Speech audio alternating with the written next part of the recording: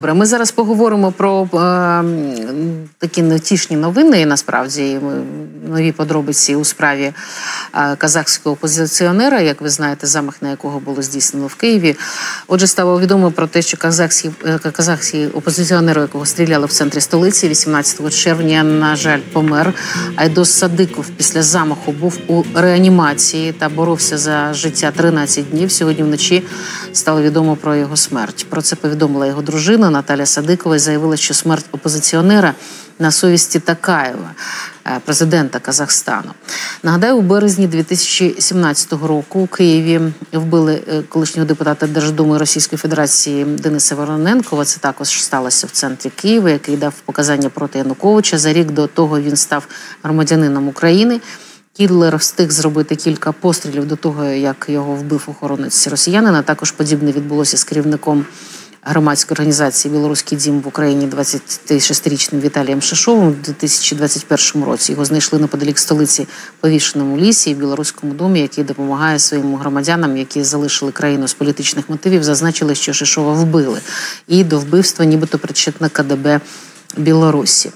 Ну і тепер, от е, цей випадок з Садиковим, зрештою, ми попросили про коментар е, лідера опозиційного руху Демократичний вибір Казахстану Мухтар Аблязов. Зараз ем, з нами буде на зв'язку. Е, пане Мухтаре, Мухтар, здравствуйте. Здравствуйте. Ну, конечно же, мы хотели бы услышать вашу версию, детали и подробности э, этого покушения. Нам интересны. И, конечно же, эти обвинения, которые прозвучали в адрес э, Такаева, как вы оцениваете, будут ли они иметь правовые последствия для президента Казахстана и почему именно его Наталья Садыкова, супруга погибшего Айдоса Садыкова, обвиняет? На Казахстан вещает два всего лишь, э, скажем, информационных э, ресурса. Это вот э, каналы, которые возглавляю я. Это э, демократический выбор Казахстана. Мы оппозиционные, запрещенные в Казахстане организации. И второй ресурс — это Басе, который имел более миллиона подписчиков и бил по режиму, разоблачал и призывал на различные митинги и так далее, и представлял опасность именно для Токаева, больше не для кого. А, поэтому то, что заявляет Наталья Садыкова, это абсолютная правда. Это заказ организован именно Токаевым.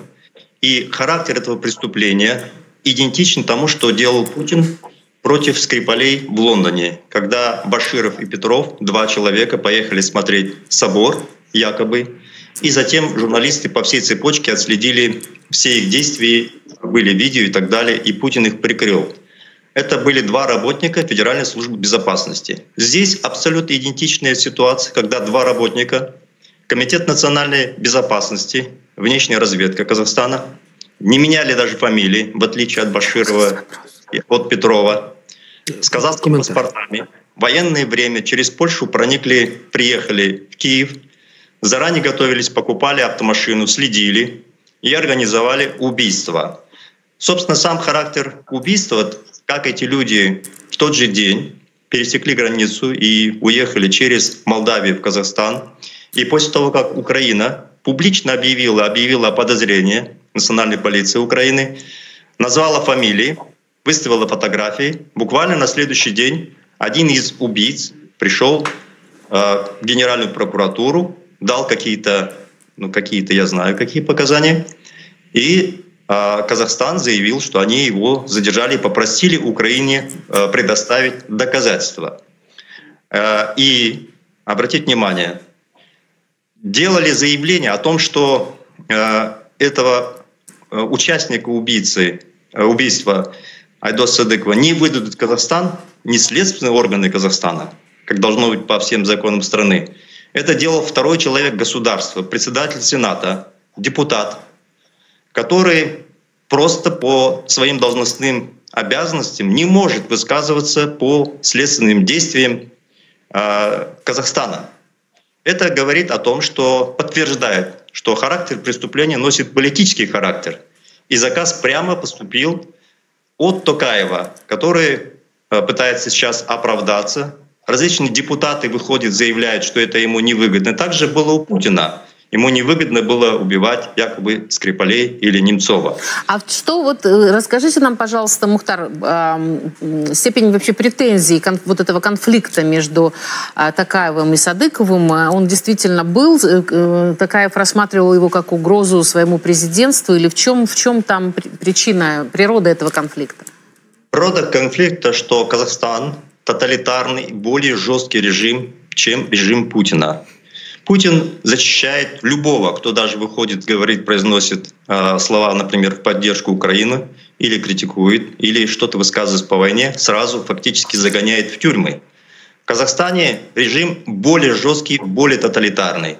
И поэтому э, этот ресурс э, раскрывал лицо режима, показывал, что Токаев помогает Путину, что он сливает Казахстан. Все крупнейшие промышленные активы фактически бесплатно сливаются олигархам Путина.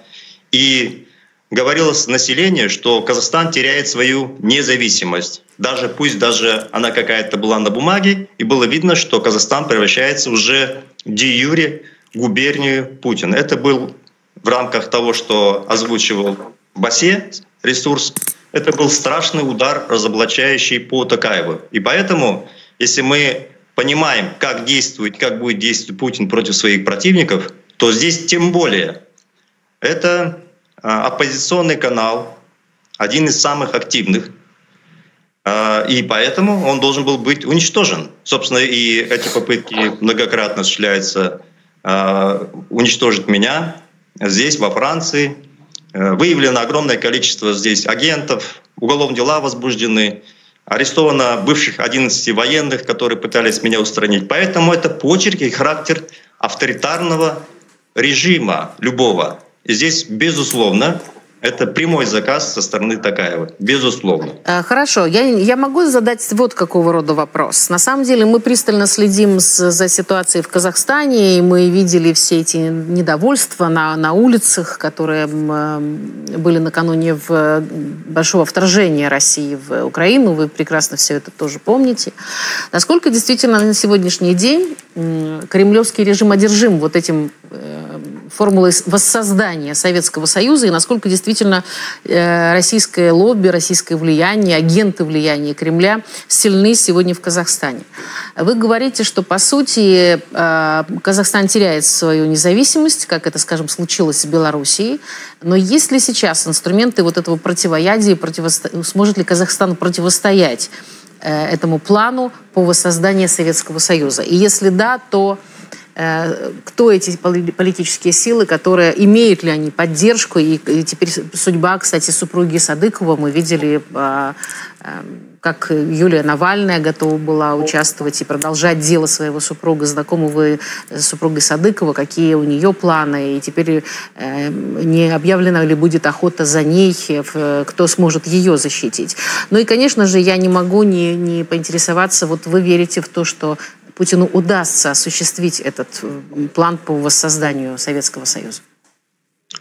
А, давайте так, я постараюсь сразу в комплексе ответить. Э, во-первых, Казахстан — это уже э, такая же губерния Путина, как, собственно, и Беларусь.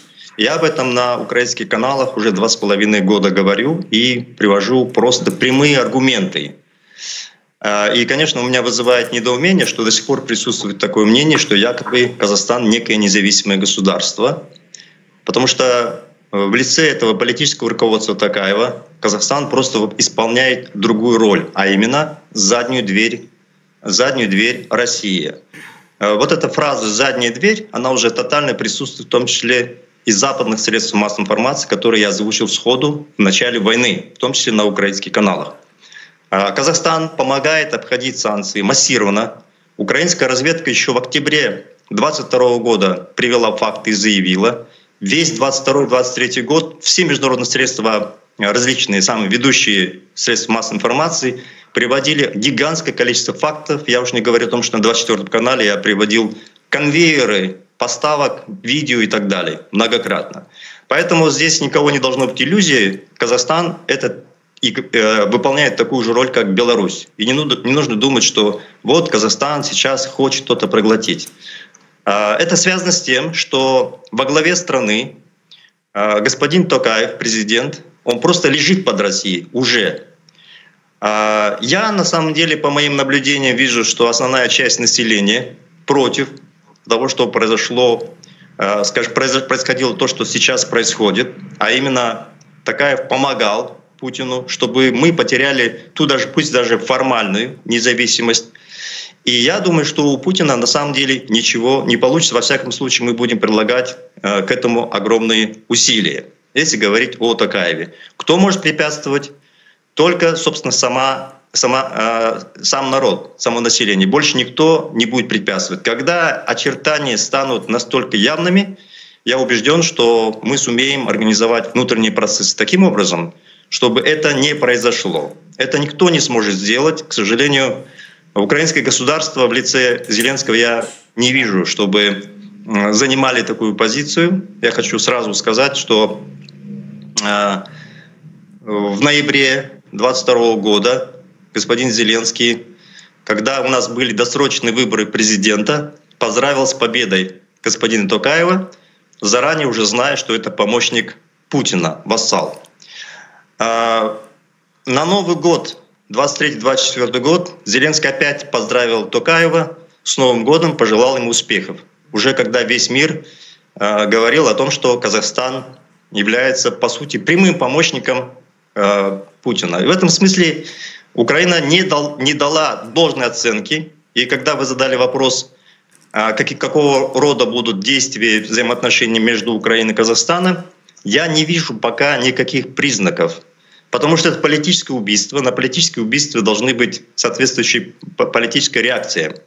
Для того, чтобы была политическая реакция, ваш президент и ваше политическое руководство должно определиться, четко поставить акценты, что Казахстан в лице политического руководства, не граждане страны, а именно Такаев является помощником Путина, и он такой же враг, как Лукашенко. Когда такого рода акценты будут расставлены, тогда и следствие пойдет по нужному пути. А сейчас я считаю, что следствие будет, по сути, как говорят э, следователи, глухарь затопит, к сожалению. Теперь, что касается, э, как вы говорите, Юлии Навальной или э, Натальи Садыкова. Наталья Садыкова – журналист. Она профессиональный, очень хороший журналист, она бьет точку. Я думаю, что одна из лучших журналистов Казахстана. Она преследуется властями, где-то приблизительно в 2012 году она покинула Казахстан. Был запрос на экстрадицию. А, в октябре 2023 года а, они объявлены розыск по якобы разжиганию национальной розни. розни. Собственно, был объявлен и Айдос Садыков, и его жена Наталья Садыкова. Она не является лидером оппозиции. Оппозиция — это организации, объединение людей, которые борются за власть, организовывают сопротивление внутри страны. В этом смысле это оппозиционный канал. Собственно, как и по Юлии Навальной. Это не оппозиция. Я уже многократно, в том числе и по российским каналам говорю. Навальный — назначенная позиция. Это не в том смысле, что его Путин назначил, а Путин ему дал возможность работать в тех параметрах, которые было выгодно Путину. Как только это прекратилось, он его закрыл в тюрьму и убил. Поэтому Юлия Навальная не может продолжать. Это же не как в царском самодержавии переходит роль лидера оппозиции по семейному принципу. Сегодня жене, завтра внуку и так далее. Это очень смешно. Это просто, скажем, ошибка Запада, попытка некий символ сопротивления организовать. Это безуспешная. От Юлии Навальной никакого результата не будет, кроме пиара. Вот моя оценка. Мухтар, а есть ли возможность действовать у, России, у Беларусь, э, простите, у казахской, казахской оппозиции? Вот ваш э, э, план, потому что, как мы видим на примере этих, действительно, в России там нет единства, мы видим там как минимум два крыла влияния в э, оппозиционерах. Есть ли у вас возможность влиять на внутриполитические процессы? Сохраняет ли за собой казахская оппозиция такое право?